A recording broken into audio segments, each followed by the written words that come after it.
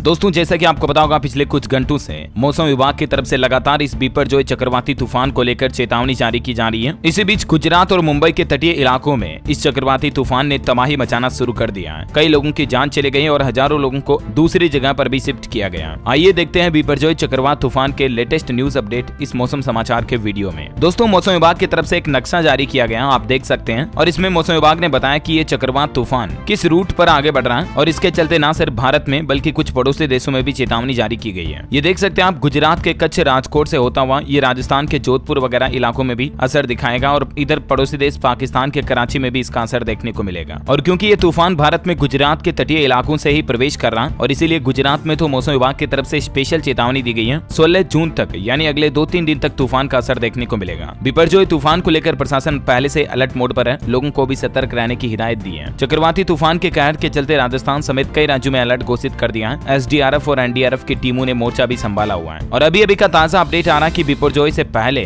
गुजरात, मुंबई के तटीय इलाकों में आंधी और बारिश आई, जिसके चलते मुंबई, भुज और राजकोट में सात लोगों की जान चली गई। गुजरात के सात जिलों से इक्कीस हज़ार लोगों को सुरक्षित स्थानों पर पहुँचाया गया, यहाँ से निकाल कर हालाँकि बिपुरजोय की रफ्तार थोड़ी घटी है, लेकिन अभी भी एक सौ सत्तावन किलोमीटर प्रति घंटा की रफ्तार से ये तूफ़ान आगे बढ़ रहा है। गुजरात में ये तूफ़ान तबाही ला सकता है और आसपास के अन्य राज्यों में भी इसका असर तेज आंधी तूफ़ान के रूप में देखने को मिलेगा। इंडियन रेलवे ने भी इस तूफ़ान के चलते काफ़ी ट्रेनों को रद्द कर दिया है। ये देखिए आप इस तूफ़ान की कुछ अलग अलग तस्वीरें। ये मुंबई के जुहू बीच पर। रेड अलर्ट के लिए ये फ्लैग लगाया गया है। मछुआरों को भी समुद्री इलाकों में न जाने की सलाह दी गई है और ये लाल झंडे के पास में एक लाइफ गार्ड खड़ा है। ताकि अगर कोई किनारे पर आ जाए तो उसको अलर्ट किया जा सके। ये तस्वीर है गुजरात के द्वारका में तूफ़ान के चलते तेज हवाएँ और हाई टाइड उठते हुए कुछ तस्वीरें आप देख सकते हैं। वहीं हाई टाइड के बीच मुंबई के जुहू बीच पर पेट्रोलिंग करते पुलिस अधिकारी और लाइफ गार्ड सोमवार को प्रधानमंत्री नरेंद्र मोदी ने इस तूफ़ान के संभावित खतरों से निपटने के लिए कैबिनेट की मीटिंग भी की और सभी अधिकारियों को सतर्क रहने के निर्देश दिए। ये वीडियो है द्वारका के पास अरब सागर में पेट्रोलिंग कर रहे कोस्ट गार्ड के शिप का। तो कुछ यूँ अपडेट चला दोस्तों अभी विपरजोय तूफ़ान का। वैसे आप भारत के कौन से राज्य में रहते मुझे नीचे कमेंट करके बताइएगा। ताकि मैं आपके राज्य के समाचार भी आपके मोबाइल तक पहुँचा दूँगा। इस वीडियो को लाइक और शेयर करना। डीएलएस न्यूज़ चैनल को सब्सक्राइब करके बेलाइकोन ज़रूर दबा देना ताकि आप ऐसी ही काम की महत्वपूर्ण न्यूज़ अपडेट हमेशा देख पाएँगे। जय हिंद, जय भारत, वंदे मातरम।